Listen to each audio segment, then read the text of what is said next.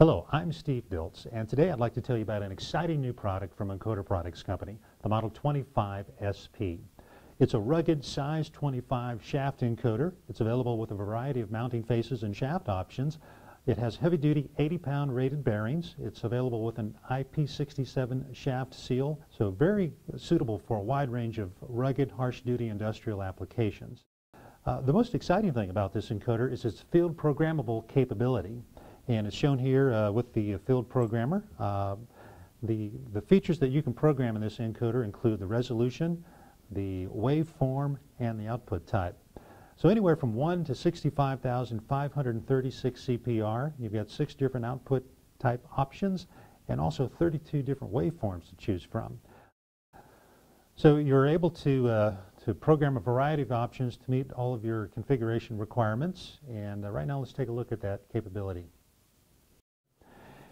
And uh, here we see the uh, current settings on the encoder, and we have our resolution, output types, quadrature direction, the waveform, the index width, and also the index alignment with the A and B channels.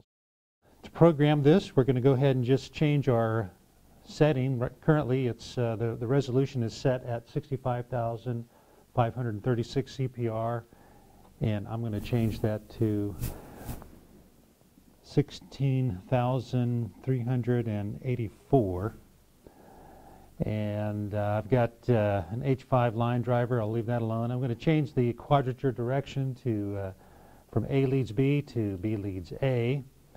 And I've got uh, a, a B2 code for the waveform. And that's a 180 degree positive going index. Looks like I can uh, have several different options on the index and note that when I change, let's say, to 180 degree index to a 90 degree index, I get different uh, phasing options. And so with each of these index choices, um, as you click on it, you get uh, the different corresponding uh, options on the uh, index phasing. So I've got a uh, 90 degree low going index and the W2 line.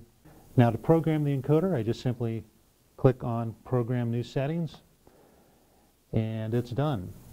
So we have uh, options now. We can reprogram the current encoder. We can program another encoder, or, and we can program the same settings into another encoder. Or we can exit. And now we are ready to install and put our encoder to work.